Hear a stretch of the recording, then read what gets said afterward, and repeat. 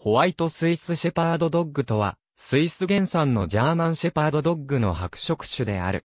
また、同一の犬種として、アメリカ合衆国やカナダで繁殖された白色のジャーマンシェパードドッグがあり、これを区別してアメリカンカナディアンホワイトシェパードと呼んだり、合わせてホワイトシェパードと呼んだりもする。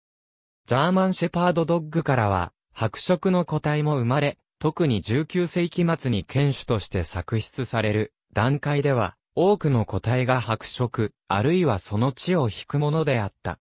1882年には白いジャーマンシェパードに関する最古の記録が残される。1912年にはアメリカ合衆国に輸入され、性格が温厚なところから人気が出て、1917年にはアメリカンケネルクラブに公認された。しかし1930年代には人気を失い、番犬として不適格であるといった理由により、1933年にドイツでの犬種標準から白色は排除された。その後も1960年代にかけて、ドイツを中心に、白色個体への反対運動が展開され、ヨーロッパでは、白色個体はほぼ絶滅した。1968年にはアメリカでもドッグショーへの参加資格を失った。しかし、能力も性格も基本的に普通のジャーマンシェパードドッグと同じであり、白い犬を好む愛好家もいたため、ジャーマンシェパードドッグとは、独立した犬種として、アメリカ合衆国やカナダに残存する白色のジャーマンシェパードを元にした繁殖、保存活動が活発になった。1969年にアメリカでホワイトジャーマンシェパードクラブオブアメリカが1977年に国際組織としてホワイトシェパードドッグクラブインターナショナルが設立された。1970年代にはヨーロッパ、特にスイスに輸入され始めた。次第に人気が広まり、1990年代にスイスで、ついでオランダデンマークチェコにて、犬種スタンダードが認められた。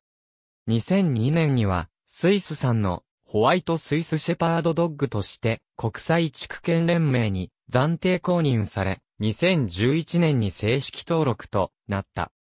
また、カナディアンケネルクラブや、ユナイテッドケネルクラブ等、ジャーマン、シェパードドッグの毛色として、ホワイトを認めるケネルクラブも現れているが、国際地区圏連盟やドイツのケネルクラブ、ジャパンケネルクラブ等では、ホワイトスイスシェパードドッグの血統にない白い、ジャーマンシェパードは公認されない。日本では1990年代に輸入され始め、愛好家の増加とともに2001年12月1日に設立した日本ホワイトシェパード犬協会が血統症やマイクロチップの管理を実施している。また、ジャパンケネルクラブでは2004年にホワイトスイスシェパードドッグを公認犬種として登録した。JKC の2011年犬種別犬籍登録頭数によると、日本における飼育頭数は27頭で、飼育頭数ランキングは91位であった。一方、日本ホワイトシェパード犬協会では、原産地や血統で区別することなく、ホワイトシェパードとして扱っており、アメリカンカナディアン種も登録されている。全体大型犬サイズで、ジャーマンシェパードドッグよりもやや大柄のことが多い。本来のシェパードの良さを保持し、ジャーマンシェパードドッグが一般に背中のラインが極端に傾斜するスタイルであるのに対し、この種は平行的なラインを保っている。筋肉質で立ち耳、垂れ尾。肉球や鼻の色はダークブラウンである。毛色はホワイトのミディアムもしくはロングのダブルコート。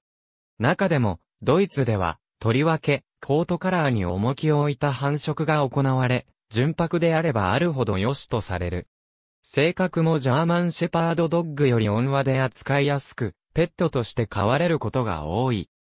ただし、作業犬としての能力も高く、オーストリアでは、ペットとしてよりも作業犬としての能力を重視した繁殖が行われ、災害救助検討としても使われている。ありがとうございます。